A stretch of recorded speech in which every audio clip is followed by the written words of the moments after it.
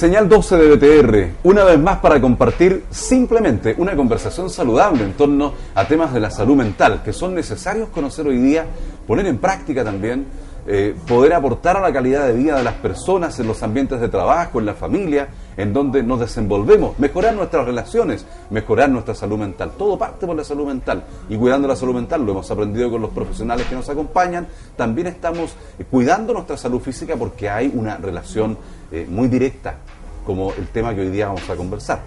Pero bueno, para abrir la conversación con nosotros y con ustedes a través de la señal 12 de BTR, Patricia Lamas, perdón, Patricia Cariola Lamas, psicóloga. ¿Cómo estás, Patricia? Muy bien, Juan Carlos, muy bien.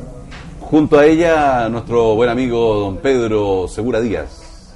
Muy buenos días. Psiquiatra. ¿Cómo está, cómo está don Pedro? Gusto de saludarlo. Bueno, si escuchan algo de, ruido propio de cocina, eh, amigas y amigos, es porque estamos en el café de Velasco. Aquí preparan unos cafés como el que tiene Pedro ahí al ladito suyo, riquísimos. Eh, y la máquina trabaja, está trabajando, moliendo café.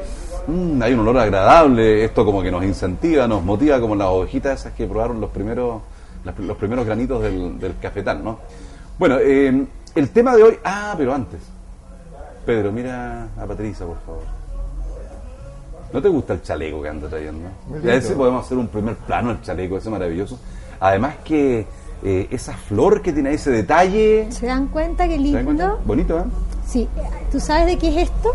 Tú me dijiste, es de fieltro. De fieltro, sí. Y quiero agradecer a una fiel auditora que nos ha visto desde el primer programa.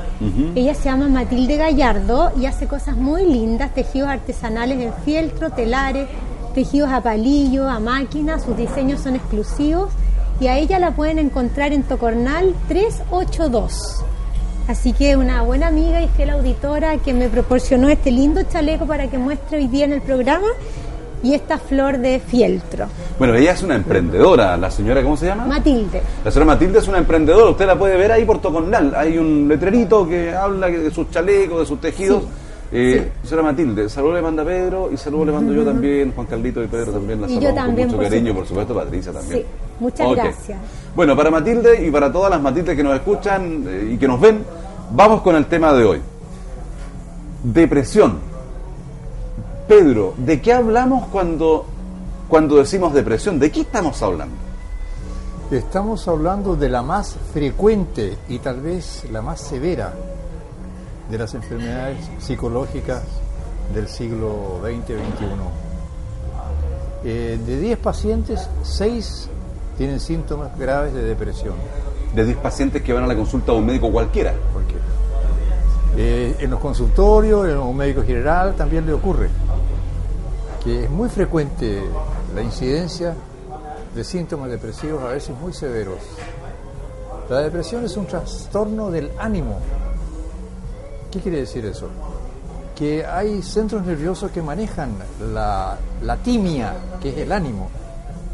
Y esa timia tiene que tener normalmente oscilaciones leves, pero en los depresivos eso cae. Y está relacionado con una serie de procesos que ocurren en el cerebro, que se activan o se desactivan por estímulos ambientales que ocurren, por ejemplo la muerte de alguien, una situación de depresión intensa, agotamiento, una enfermedad física, que son capaces de descontrolar estos procesos de la timia, o sea, de la regulación del ánimo. Se sabe cuáles son esos centros nerviosos y se sabe cómo es el mecanismo.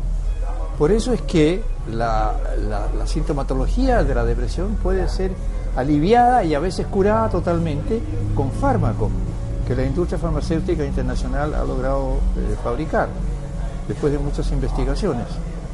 Ahora, evidentemente que en una etapa inicial se puede ayudar al paciente con psicoterapia y siempre se le debe ayudar con psicoterapia. Los psiquiatras que trabajamos en un sentido amplio, no solo aplicamos fármacos, también hacemos psicoterapia con nuestros pacientes. Hay que distinguir entre lo que es una tristeza común y corriente, porque se me murió el perrito, y una depresión grave, profunda y severa que trae trastornos incluso del sistema inmunológico, y que si se prolonga en el tiempo puede provocar enfermedades tan severas como un cáncer. Entonces, la depresión es una cosa seria, hay que tomarlo en serio.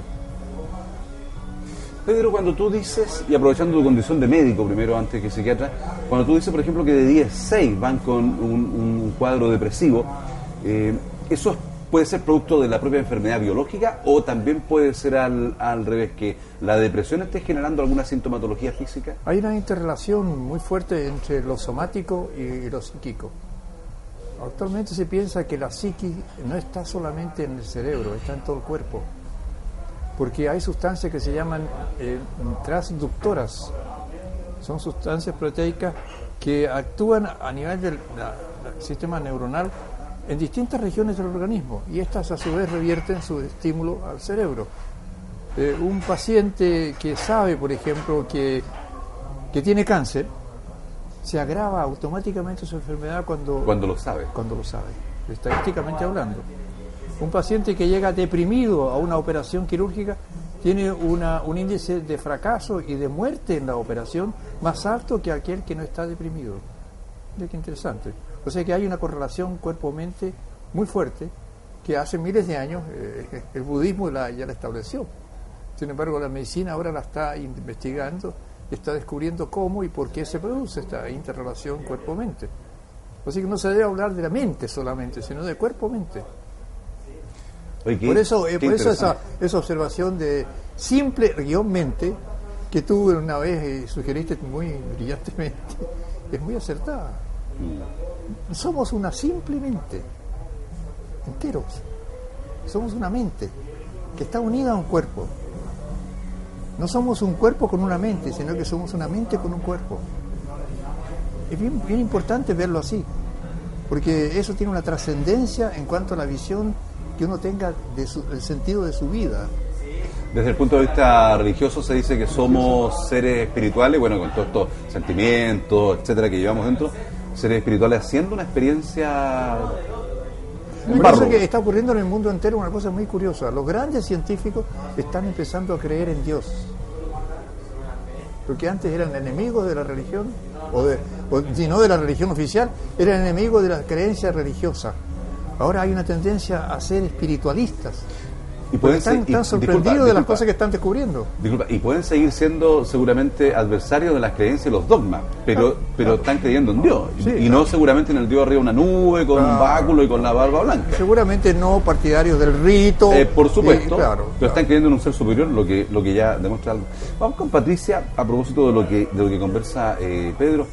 ¿Cómo se sabe que, que uno está deprimido? Pero partiendo por tu experiencia profesional, por ejemplo, en el caso de los más pequeñitos, ¿cómo reconocer que una persona está deprimida? Mira, yo te voy a hablar de los niños. ¿Ya? ¿Ya? Un bebé ya puede estar deprimido. Un bebé puede presentar sintomatología depresiva. De hecho, hay una autora psicoanalítica que, que muchos psicólogos y psiquiatras rechazan, que es Margaret Mahler, y ella habla de, la depresión en el bebé. Fíjate tú que un, un bebé que puede llorar mucho, que llora, que llora, que llora, que está calentito, que está cambiado de pañales, que está alimentado, que viene de dormir a lo mejor una siesta, llora, llora, llora, llora, está muy irritable ya puede ser un síntoma de depresión. Un bebé que no quiere ser amamantado, que rechaza el pecho de la madre. Un bebé que se ve aletargado, que tiene poco movimiento. Podría ya ser un síntoma de depresión. Y eso por el ambiente. Algo está pasando en el ambiente, en la relación del padre con la madre, o de la madre, algo está sucediendo en ese ambiente que ese bebé ya está manifestando alguna sintomatología depresiva. A veces son bebés que están ahí quietos, no se mueven. Entonces se para el desarrollo de ese bebé, se enlentece el desarrollo. Y así vamos adelanta, eh, en el desarrollo del, del niño, digamos, entre los 3 y los 6 años, que podemos ver una inhibición del lenguaje. ¿Qué quiere decir eso? Que el niño aprende poca, poco vocabulario. Hace poco vi una chiquitita de dos años que todavía no dice nada. Ah, eh, ah, ah. Una chiquitita con conductas autolesivas, que se pega cabezazos contra la pared cuando tiene rabia, que le dan pataletas en el suelo y se pega contra la pared. Y tiene un desarrollo psicomotor lento. O sea, la niñita aprendió a caminar a una edad avanzada, no a la edad que debió haber avanzado. Todos esos síntomas nos pueden indicar que hay un, cierto grado de presión en los niños. Y así seguimos creciendo. Las conductas autolesivas, por ejemplo. Niños que se pegan, como te decía, cabezazo, que se autocastigan, que se encierran en la pieza y empiezan con las quejas somáticas. Ese es uno de los primeros síntomas de que el niño podría tener depresión. Le duele, le duele la guata. Mamá, me duele la guata, me duele la guata, ¿cierto? Y duele de verdad. Y le duele de verdad. O puede doler todo el cuerpo también. ¿Le duele cuándo? En la mañana antes de irme al colegio. Ah, claro. O le duele cuando va a llegar el papá. O le duele cuando va a llegar la mamá. Pero el niño no lo puede decir, no puede decir por qué le duele la guatita, sino que le duele. A la lo llevan al médico y no tiene nada, ¿cierto? A la semana siguiente le duele la rodilla le duele la rodilla y le duele la rodilla o le duele un pie, el hombro, el brazo, vamos al traumatólogo, sacamos radiografía y así sucesivamente. No hay nada, nunca hay nada. Seguimos en el desarrollo niños de 8 a 12 años, por ejemplo, que no socializan, ya no quieren jugar fútbol, la niñita no quiere a lo mejor ir a clases de ballet o de voleibol, eh, practicar deporte no quieren juntarse con los amigos, no quieren ir a los cumpleaños de los amigos, no quieren celebrar su propio cumpleaños. Y así, a lo largo del desarrollo, hasta que llegamos a la adolescencia, ¿cierto? Que es muchas veces cuando los padres consultan por los hijos. No consultan antes con el psicólogo, porque piensan que de verdad el niño tiene algo físico, y no es físico, es algo mental. El niño no es capaz de decir, mamá, me siento mal, tengo miedo, estoy triste. No es capaz el niño de decir eso. Entonces lo manifiesta a través del cuerpo. El niño puede estar muy irritable, llorar. El niño llora o se enoja, está mal genio, patea la puerta, está con conductas violentas. Perdón, desgraciadamente la reacción de los padres es reprimir eso y castigar al niño. Claro. Yo, agregaría niños que se masturban, por ejemplo. Como una conducta, sí. Niños que rechazan el alimento. Entonces, a la fuerza tratan de inyectar el alimento o son golpeados de alguna manera para, para educarlo. Conductas completamente equivocadas. Ayer venía por la calle y una señora, porque el niño estaba gritando con rabia, no quería cruzar la calle, la madre le pegó. Delante mío le dije, muy bien señora, sígale pegando, a ver si la a la calle, golpelo, golpelo. Irónicamente se lo dije. Claro, y me dijo, es mi hijo, yo sabré si le pego o no. ¿Qué puedes hacer tú con una madre así? Qué violencia. Así ya iba yo justamente, eh, problemas con los hábitos alimenticios. El niño no quiere comer. Mira, a mí me ha tocado ver muchísimos niños que me dicen que mire, que no quiere comer, que no quiere comer. Y la niñita a lo mejor está obesa, está con un sobrepeso de 10, 12 kilos y la mamá insiste en que la niñita coma. ¿Te das cuenta? ¿Y ahí qué pasa? Como dice Pedro, viene el castigo, viene el golpe, usted no va a salir el fin de semana. Castigado. Castigado no va a ir al cumpleaños. Yo siempre le digo a las mamás, jamás le prohíban a un hijo ir a un cumpleaños de un compañero o de un amigo. Porque ahí es donde el niño se realiza, donde lo pasa bien, donde es feliz, donde comparte con sus amigos. No importa que no coma un día, pero vienen las cachetadas, vienen los encierros en su pieza.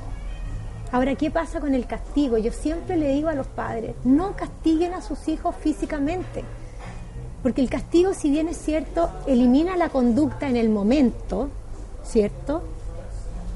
Pero a la larga el niño se acostumbra al castigo y cada vez necesita que lo castiguen más para que la madre consiga o el padre consiga la conducta que quiere. Oye, en ese sentido, como dato, como dato doméstico, ¿qué castigo se recomendaría entonces? Mira, ¿qué castigo puede ser ejemplar o educador? Mira, se puede castigar, pero no de la manera que la gente está acostumbrada. No el tirón de pelo, el tirón de patilla, el golpe, el correazo, el encierro en la pieza. Por ejemplo, ya una niñita, un niñito de, de, dos, de un año y medio, tú lo puedes castigar mirando a la pared en un rincón ciertos minutos de acuerdo a su, edad. Por ejemplo, un niñito de dos años, ¿cierto? Que ha hecho algo que no debe hacer, no porque dio vuelta un vaso con agua lo van a castigar, ¿cierto? Ya, digamos que, no sé, le pegó al perrito y le pegó una patada y, y eso no se debe hacer. Tú puedes castigar al niño y ponerlo en un rincón en, en la casa. Si el niño tiene dos años, lo pones dos minutos mirando a la pared. ¿Ya? Si el niño tiene tres años, lo pones tres minutos. Y así sucesivamente. Ahora, a un adolescente no lo vas a poner 15 minutos mirando a la pared. ¿Cierto? Porque es absurdo. Con, con el adolescente es otra la técnica, otra la táctica. Tienes que conversar, llegar a acuerdos, negociar. Siempre con el adolescente hay que tratar de negociar. Permite que te interrumpa. Yo sugiero algo que he practicado con cuando, me cuando atendía a pacientes pequeños. Premie lo positivo. Ignore lo negativo que tenga su hijo. Hágase la lesa. Es una tontería, no le da importancia. Pero en cambio, todo lo positivo que el niño tenga, estimúlelo, premielo, gratifíquelo. De inmediato con una caricia, con un cariño de cualquier tipo. O sea, cambia el sistema. Porque si no, ese tipo, cuando sea, ese niño, cuando sea un tipo grande, un adulto, va a actuar con su pareja y con los demás de la misma forma. Cuando tenga un desacuerdo con alguien, va a recurrir a la violencia. Claro, le estamos enseñando no con las palabras, sino que con la acción. Ahora, esa es ya, tengo una, pregunta ahí con el tema de los niños. Esa es una de mis técnicas y que, yo enseño en terapia, especialmente a los padres cuando me traen niños. Practiquemos el refuerzo positivo, porque solemos ignorar las conductas positivas de nuestros niños. Si el niño trae un 7, la mamá le dice, bueno, pero si con tu deber no vas cumples. Te das cuenta, en vez de abrazarlo, te felicito, que lo hiciste bien, déjame ver tu prueba, mira que estuvo difícil la prueba, pero sin embargo te sacaste un 7, te felicito, muy bien. Y si es posible, hacer algo más con él, una actividad el fin de semana, algo distinto. Ahora, es cierto, el refuerzo positivo funciona mucho mejor que el castigo. el castigo, por supuesto. El castigo hay que evitarlo a toda costa. Estamos hablando con Patricia Carolina Lamas, con Pedro Segura Díaz, psiquiatra él, psicóloga ella, en el Centro Médico Las Rosas en los Andes y Pedro también en el IST de San Felipe. Eh, para los dos, en, el tema de, la, de, las depresiones, como, como hablaba Patricia, eh, se manifiesta ya en los niños. Eh, ¿Y se da por qué? ¿Por qué se da? ¿Se da por un tema genético? ¿Se da por un tema del ambiente, de la vivencia familiar? Eh, y agregaría un tercer aspecto, ¿por qué en algunos niños se da, le afectan los ambientes y en otros puede que no? Niños y adultos. Niños y adultos, ¿no? Todo lo que nombraste es cierto. Ya, llevémoslo a adultos. lo genético, lo ambiental, lo psicogenético, lo, lo, psico, lo, psico, lo que se produce por trastornos emocionales o manifestaciones de conducta de los padres hacia ellos. Esa madre que castiga a sus hijos seguramente que cuando niña fue castigada tremendamente y aprendió que el castigo es la manera de solucionar problemas. La pobrecita no tiene otra manera de, comunicarse. Entonces hay un problema cultural. En, desgraciadamente, en ciertos niveles socioeconómicos eso es más común. Y piensan que si no lo hacen, el niño no se va a educar. Y están convencidos que es así. Y se crea un individuo cruel que no perdona, que no comprende, que no ayuda, que no colabora, que no se comunica. Y se está creando un círculo vicioso que se perpetúa a través de las generaciones. Los factores eh, eh, genéticos existen. Existe lo que se llama la depresión endógena, que es una depresión en que un individuo que está totalmente tranquilo y sin problemas, de repente empieza a sentirse muy mal. El síntoma central es la tristeza y la falta de motivación para las cosas de la vida diaria empieza a perder interés en su trabajo, empieza a dormir mal, empieza a tener síntomas. A no preocuparse del aspecto, por ejemplo. El aspecto, no se quiere bañar, no se quiere afeitar, anda descuidado. No quiere salir, quiere solo dormir. Y, ah. y, llega hasta la desesperanza, hasta creer que ya no hay vida ni hay posibilidad y empieza a pensar en matarse. Se le viene una nube negra encima. Exactamente. Esa depresión endógena es un cuadro clínico muy grave y hay que tratarlo rápidamente. Muchas veces hay que hospitalizarlos. Claro. Ahí ya no, no solo cambiando el ambiente lo mejoramos. Sino eso es genético. Eso es genético. Usted empieza a investigar, resulta que el abuelo se suicidó, que por el tío era un ebrio consuetudinario, que el otro tío, el otro abuelo era un fracasado de la vida que, que la abuela Tacuén se suicidó, que el padre, el padre es un fracasado y que el conflicto fue continuo entre padre y madre por la irritabilidad del padre, que es otro de los síntomas interesantes de la depresión, la irritabilidad de los pacientes. Se ponen muy irritables los depresivos. Entonces empiezan a pelear con su pareja y vienen conflictos de pareja y terminan separarse. O sea, hay una, hay una, relación directa entre depresión y relación de pareja, por ejemplo. Claro, hay una relación muy grande, increíble. La irritabilidad, la falta de interés sexual por su pareja, entonces el hombre se enoja y piensa que la mujer tiene otro hombre y lo que pasa es que la pobrecita está deprimida simplemente. Y le damos unas cuantas píldoras y resulta que empieza a mejorar. Los pacientes me dicen, oye, ¿usted cree que mis problemas se van a quitar con esta píldora que me está dando? No se te van a quitar los problemas, pero vas a tener la capacidad de cambiar tu actitud frente al problema. Y eso es lo que va a conseguir la píldora. Porque se te va a producir aquí un cambio químico. Porque la depresión te produjo un cambio químico en el cerebro. Eso es importante que el paciente lo entienda hay depresiones que son reactivas a situaciones La píldora placa un poco, minimiza para que tenga la capacidad de visualizar y tomar conciencia y te mejora, te mejora las conexiones cerebrales. Se sabe que hay ciertos medicamentos que después de cierto tiempo, cuatro, cinco, seis días, empiezan a, a mejorar las relaciones de conexión cerebral de una neurona con otra. Entonces eso mejora la capacidad de reaccionar y de entender, de motivarse si sientes que se te mejora el sueño, se te mejora el apetito, te empiezas a sentir mejor. Empiezas a ver un mundo distinto, empiezas a tomar decisiones que antes no tomabas. Se te está curando la depresión. El problema lo vas a resolver tú, le digo yo, no te lo voy a resolver yo. Es frecuente que el paciente llegue y me diga, doctor, tengo problemas. Yo le digo, yo también tengo, todos tenemos problemas. ¿Estás vivo? Esa es señal de que tienes problemas, porque estás vivo. Los muertos no lo tienen. Así que vamos a ver, ¿qué, es lo que sientes? ¿Qué te pasa? ¿Me explico? Oye, em, estaba, estaba pensando mientras hablaban eh, de que desde el punto de vista de la medicina más biológica, de resfrío, enfermedades que, que son de ese tipo con virus, etcétera, se habla de higienizar los ambientes. Entonces, ventilar las casas, eh, limpiar, que esté todo, todo como corresponde sin bicharracos. ¿Cómo, en definitiva, higienizar nuestros ambientes para propiciar una buena salud mental? Eh, evitar las depresiones y todo lo demás, porque aquí hay un, hay un tema que, si bien es cierto, responsabilidad de uno, ¿no? Pero también hay una responsabilidad de la familia y después también hay una responsabilidad de la sociedad, porque tenemos ambientes, por ejemplo, que están viciados, que están enfermizos en los trabajos, en las relaciones de personas, en la gente anda violenta en la calle. ¿Cómo higienizar? Yo recuerdo que alguna vez la, los sacerdotes de los jesuitas, la Compañía de Jesús, hizo un aporte tremendo en Chile, que fue la campaña por la vida buena, yo no sé, el logro y el pollito, eh, que, trataba de, apuntar a aquello. Hoy día hace falta educar para una mejor calidad de vida, ¿no? Mira, yo más que higienizar una casa, yo te diría higienizar las relaciones.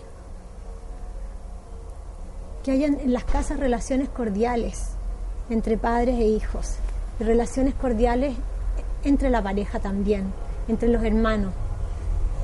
Las relaciones no cordiales, las relaciones agresivas, de violencia, de discusión, generan depresión.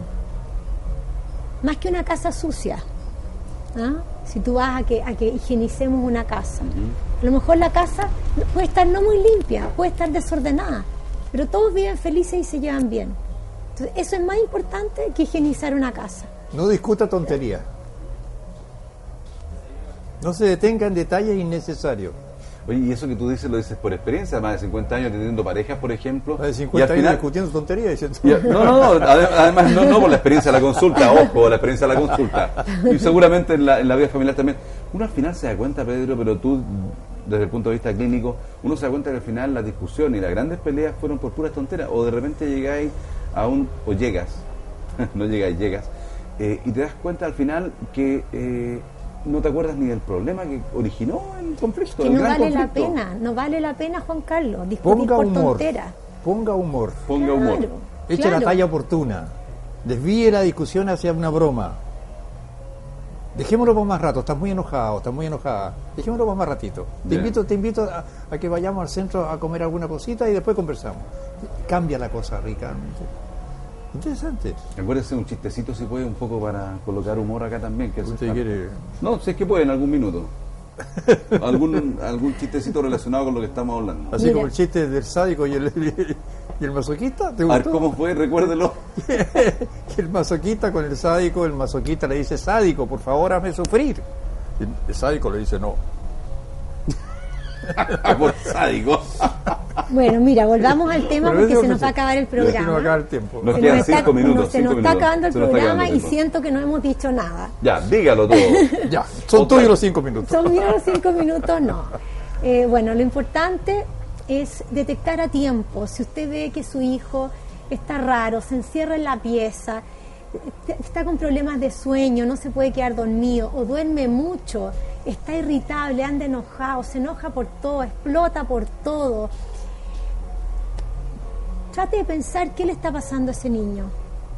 ¿Desde hace cuánto tiempo que está así? Si lleva más de dos semanas así, consulte. Y eso no quiere decir que el niño está loco que la niña está loca. Anoche nomás yo estuve con una chica de 12 años que está con depresión y ella me dice, yo lo único que quiero es morirme. Una niñita de 12 años. Otro niñito de 8 años también me dice, lo más bacán es morirse, porque me voy al cielo y a mí me gusta el cielo que está negro en la noche y cuando las estrellas no brillan. Ese es el cielo bacán. ¿Te das cuenta cómo ese niño me está tratando de decir que no quiere vivir? Ese niño está con una depresión. Entonces hay que tener ojo en las conductas de los niños. Las madres muchas veces o los padres ahogan a los niños, los ahogan, que llegue el colegio y se ponga inmediatamente a hacer las tareas y le exige y se sienta al lado de él y le tira el pelo y le pega y lo castiga porque no entiende. Deje que el niño llegue a la casa, descanse un rato y diga, ya, perfecto, negociemos. ¿Te parece que a las seis hagamos las tareas? Si es un niño chiquitito, de, digamos de menos de ocho años, más de media hora no se le puede dedicar a hacer las tareas. Ya el niño un poco más grande sí, una hora. Y ya en octavo básico, séptimo, vaya dejándolo solito que el niño se maneje solo. Ahora, importante, no castigue. Yo siempre les digo, no castigue. Yo me encuentro con que a los niños los castigan demasiado. Las madres ahogan a los niños en las casas. Muchas veces los padres también. Ahora, ¿qué es lo más importante? Que el niño haga deporte que tenga su mente distraída. Si en la casa hay problemas, bueno, con mayor razón. Mantener la sociabilidad, que mantenga a los amiguitos, que traiga amiguitos a la casa. Y ojo, estar siempre atento. En las casas los, los medicamentos no deben estar a la mano. Deben estar guardados en una caja que los niños no los vean es importante porque el niño piensa, el niño ve en la televisión, tiene mucha información. Ahora un niño deprimido se puede mejorar. Se puede mejorar con psicoterapia, un adolescente también, con psicoterapia y en, y en algunas ocasiones con psiquiatra, con medicamento como dice Pedro.